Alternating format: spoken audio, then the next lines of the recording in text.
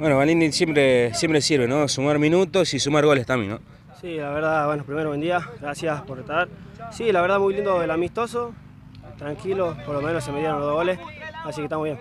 Bueno, ¿cómo viste el equipo? ¿Cómo está el plantel de cara al torneo que se viene? Se lo ve bien, unido, buena, buenos chicos, ya gente con experiencia y venimos a sumar un poquito nosotros también.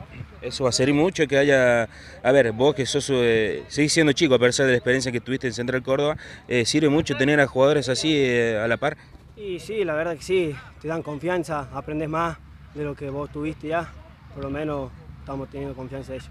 ¿Qué se piensa primero? Primero policial por la Copa Revista Botineros y después me imagino el torneo local, ¿no? Sí, bueno, vamos a jugarlo, es un partido, no es amistoso, nada, es una copa, vamos a jugarlo como se debe, es un clásico. Bueno, eh, Valentín, preguntarte sobre los goles, preguntarte cómo te sentiste sumando minutos. Bien, bien, me sentí bien. Ahí el cabezón la tocado que si no para mí la hacía él. Estuve ahí justito.